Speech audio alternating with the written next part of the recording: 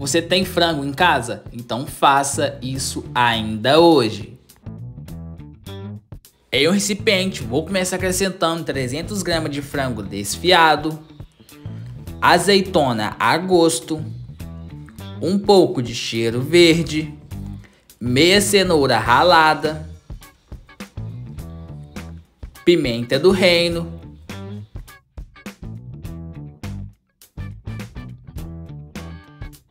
Vou utilizar de 2 a 3 colheres de sopa de requeijão. Se você preferir, também pode utilizar creme de leite. De 3 a 4 colheres de sopa de maionese.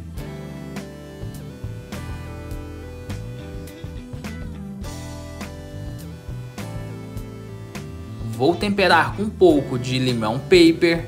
Aqui utilizei uma colher de chá, uma colher de chá de orégano, e uma colher de chá de páprica doce. E agora é só misturar tudo isso muito bem.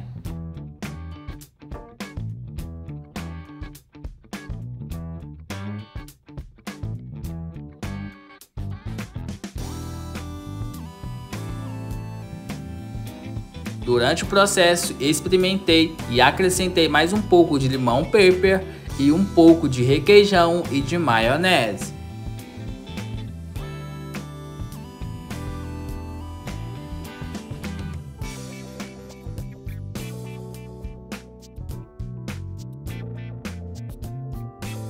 Após misturar, pessoal, já vai estar pronto o seu patê de frango.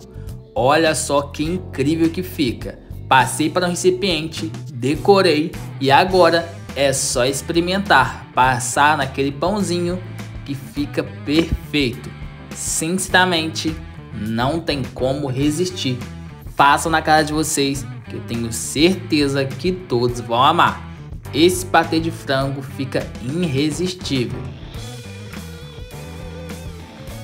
Esse patê é muito versátil, dá para você comer com o seu pão, com um pouco de biscoito ou até mesmo na comida. Fica incrível. E pessoal, eu espero que vocês tenham gostado. Essa foi mais uma receitinha aqui do Pobre na Cozinha.